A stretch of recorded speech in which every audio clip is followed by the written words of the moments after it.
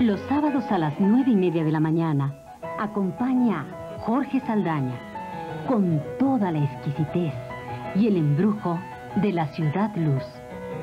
Café París, por la mejor opción.